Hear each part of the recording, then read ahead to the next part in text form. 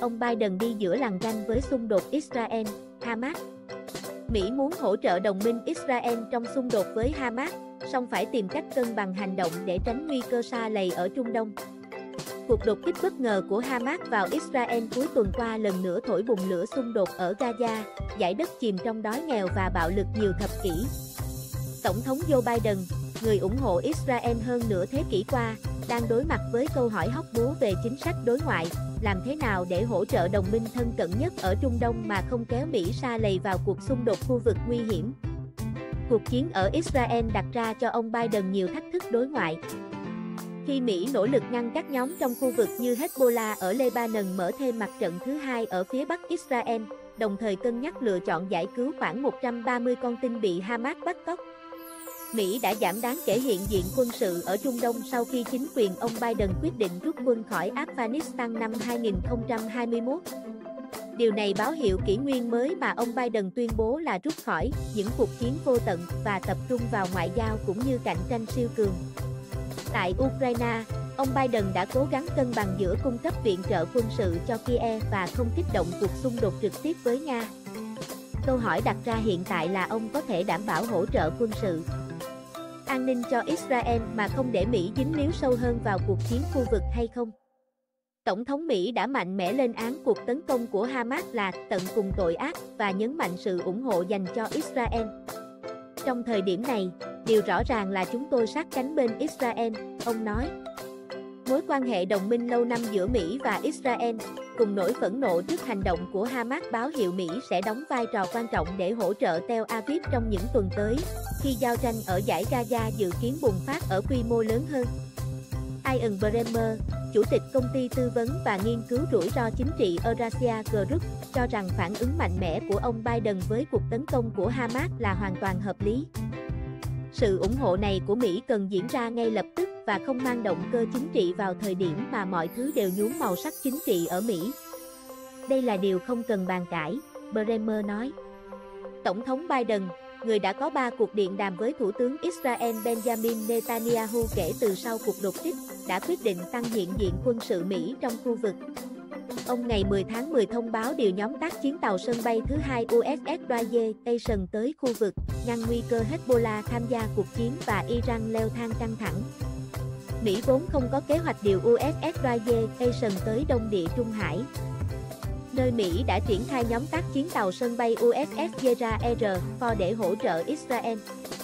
Tàu USS Zera R, Ford và nhóm chiếm hạm hộ tống tới gần Israel ngày 10 tháng 10, theo Lầu Năm Góc. Cố vấn an ninh quốc gia Jake Sullivan cùng ngày cho biết Mỹ chưa có ý định gửi quân tới Israel.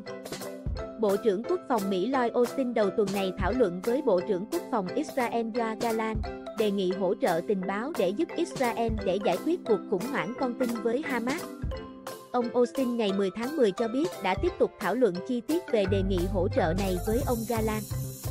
Một quan chức quân sự Mỹ nói rõ Washington không có kế hoạch gửi lực lượng đặc nhiệm vào giải Gaza để giải cứu con tin, nhưng sẽ cung cấp các hỗ trợ khác cho quân đội Israel.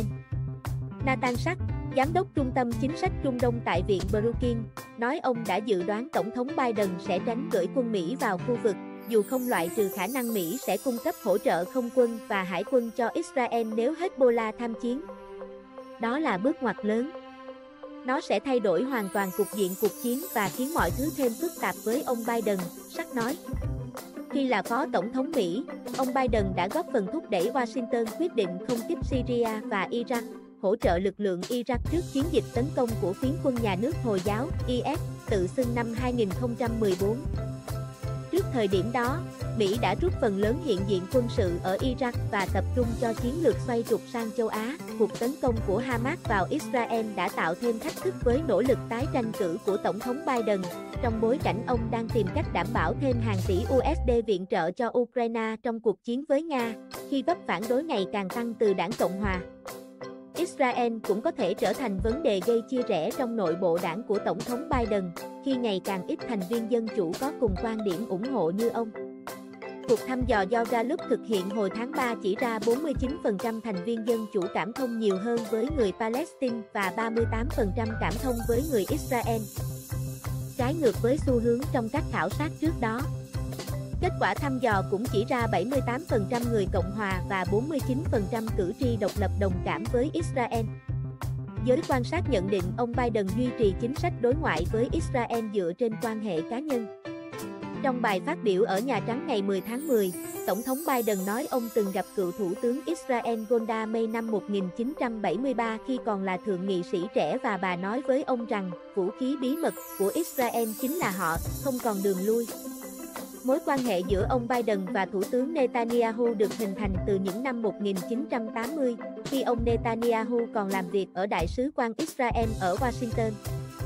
Dù đôi khi có những mâu thuẫn, sự quen thân đó giữa hai lãnh đạo đã giúp ổn định quan hệ Mỹ-Israel.